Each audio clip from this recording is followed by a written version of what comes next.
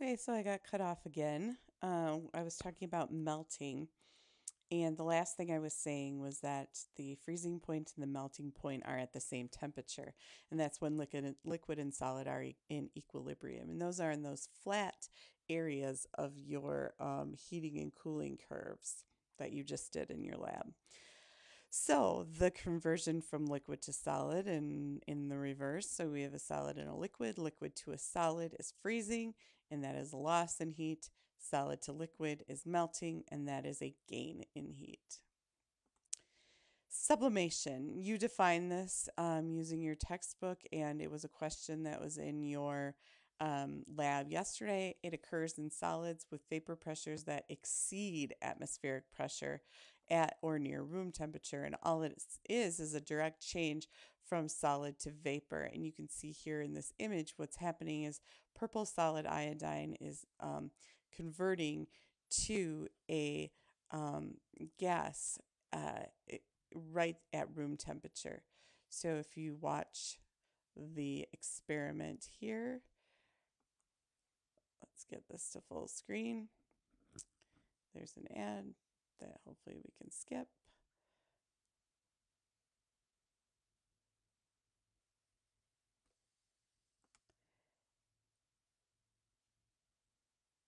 And what you are seeing is the sublimation of iodine. And all that's happening is solid iodine is in there. It's just heated a little bit and it goes directly into the gas form. You can see it's just this gas that is filling that flask up. Okay, let's go back to the PowerPoint. And gas to solid.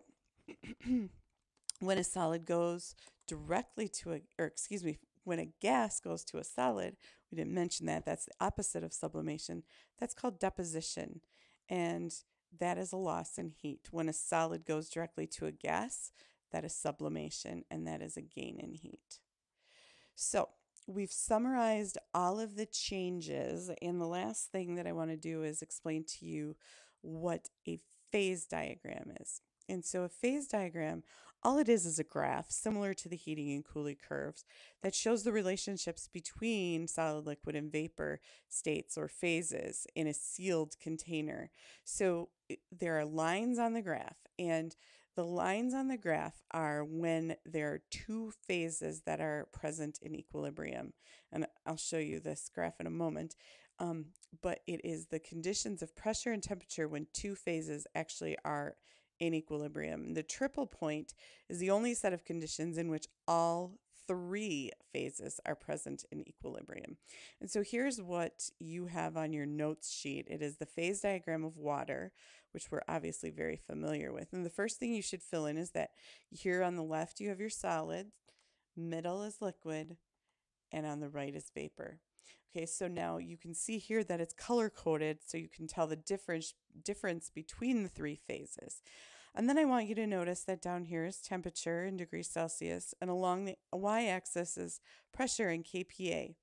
And so what these lines are telling us is that we know that um, the normal melting point for um, water is 0 degrees Celsius at 101.3 kPa.